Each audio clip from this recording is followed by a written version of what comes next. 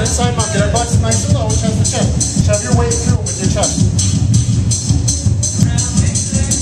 Arms wide. Turn your feet up.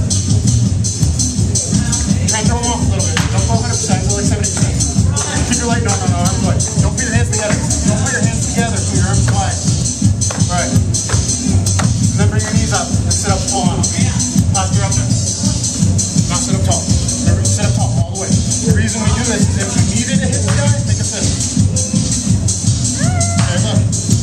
Tall, tall. Make a fist. Try and hit him in his chin. Ooh, what happened? He can't reach you, but you can reach him.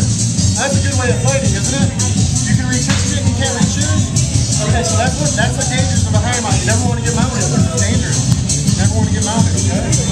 But if you get to a high mount, if you keep a good posture, you can hit him if he can't reach your chin. Okay? Good. Okay, guys, switch top to bottom now.